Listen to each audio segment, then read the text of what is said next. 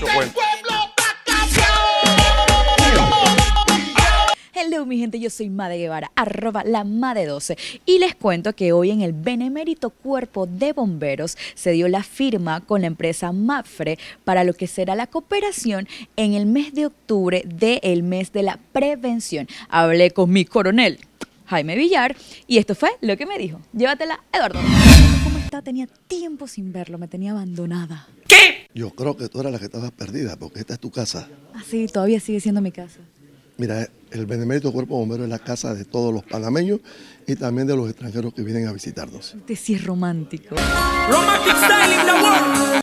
Gracias. Dígame, hablemos, octubre, mes de la prevención y ya estamos tomando acción. Mafre, que por sexto año consecutivo nos ha estado ayudando en materia de divulgar Claro. información que tiene que ver con prevención de incendios, Yes. eh, que lo estamos utilizando más que nada enfocado a los niños, porque los niños son las personas que después le van a transmitir a sus padres y a sus amigos Repítalo.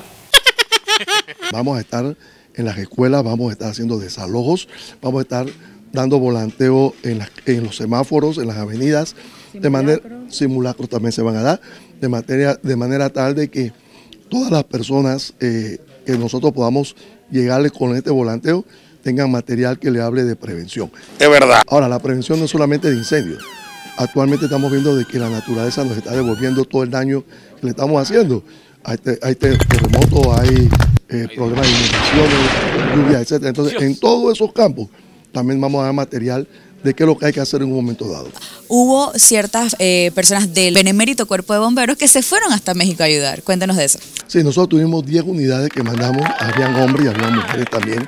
porque- Y hay que reconocer que las mujeres también hacen el trabajo de la mejor forma. Y es cuestión de querer hacerlo. Entonces, todo ese personal que fue con la Fuerza de Tarea Conjunta a México, pues eh, la verdad que se comportaron de altura allá, eh, fueron aplaudidos, hicieron un trabajo de calidad. Y ahí estuvo Panamá, porque era la Fuerza de Tarea Conjunta, no el Benemérito Cuerpo de Bomberos solamente. Y lo que te quiero decir es que tanto hombres y mujeres de bomberos, de Senan, de la Cruz Roja y de Sinapro, yo le doy un aplauso.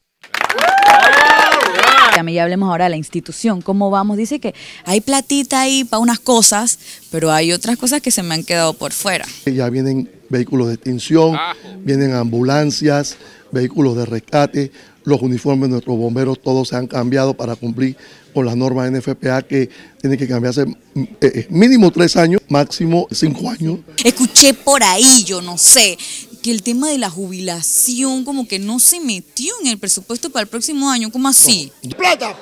No es que la jubilación no se metió. Nuestro personal tiene jubilación especial, gozan de la misma a un 100%. Sin embargo, a ellos se les descontó por muchos años el seguro social. Cuando llegan a los 62 años los, los hombres y cuando llegan a 57 las damas, obviamente tienen que ir al seguro social para que les pague el 60% y nosotros el 40% restante. No obstante, olvidemos ese tema, ya lo hablamos con nuestros, con nuestros jubilados. La institución va a seguir pagando como hasta ahora el 100% sin ningún problema y nosotros vamos a tratar de conversar con el Seguro Social para que sea cuestión nada más de dos instituciones. Vamos a dejarlo ahí. El recurso humano para esta administración es lo más importante. Claro. Nosotros hemos dado la oportunidad que todas las personas que estaban fuera de la institución vuelvan a la institución, esta es su casa, siempre lo fue, nunca debieron haberse ido. Es cuestión de dialogar, es cuestión de conversar y de que todos nuestros bomberos, y más los que están jubilados, que dieron mucho por esta institución, se sientan contentos. Perfecto, pues yo también.